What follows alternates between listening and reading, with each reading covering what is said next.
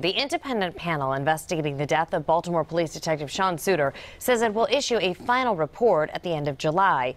The board worked on the case for more than two months. Suiter was shot in the head with his own service weapon. No suspects were ever arrested, and while some believe that he was killed, others do think that he committed suicide.